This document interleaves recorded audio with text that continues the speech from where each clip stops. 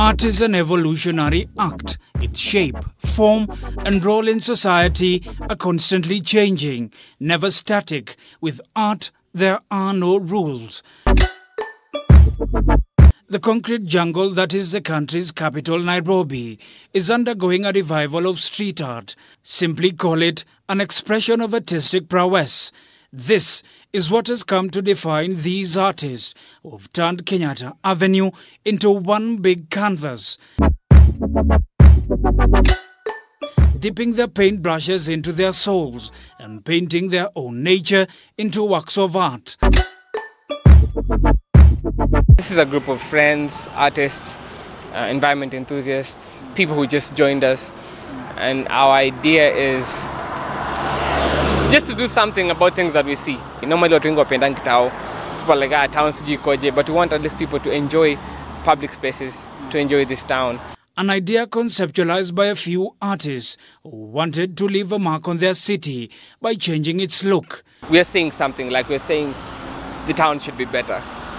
We're using art to, to speak now. If you look around the flower pots na kila kitu, we're beautifying it. Hata mse ukitembea, wacha watu wa slow down, they see the city for what it is. They see how beautiful our town is.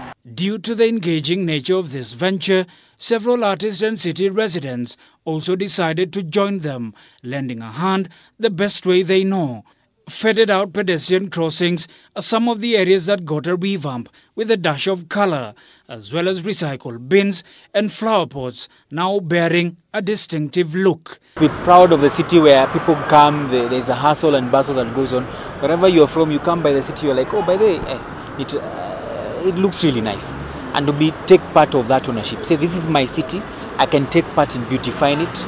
Instead of just waiting for the city council to actually do it for you, but I can be part of this process. i love them to see Nairobi as a more vibrant city, more beautiful, more multifaceted, because we see Nairobi as just one thing, a business, uh, a business metropolitan, but it's more than that. Because hata wasi wengi wenye wamekam, just saw it online and they came.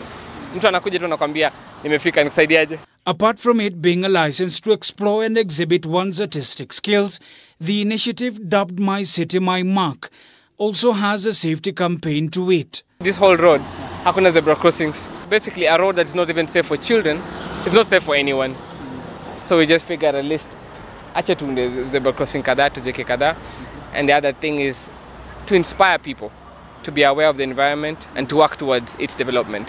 art that is instigating a bit of very nice social action from every person and also i think it will also border to the bit where it can also fuel a bit of even policy change in terms of making sure that every three months we say that pedestrian markings have to always be clearly marked With the county government's approval, the self funded artists also decided to honor one of the country's heroes, Eliud Kipchoge, with this mural, the epitome of the phrase, No man is limited. trying to take a bit of ownership not even asking anything but actually coming out in numbers and saying okay we actually this is our city we can leave a mark in our city Little things basically in add up to bring big changes.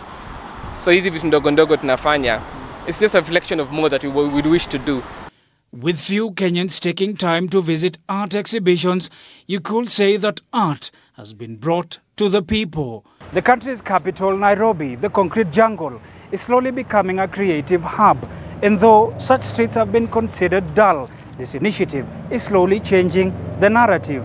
Shukri Wachu, K24, Kenyatta Avenue, Nairobi.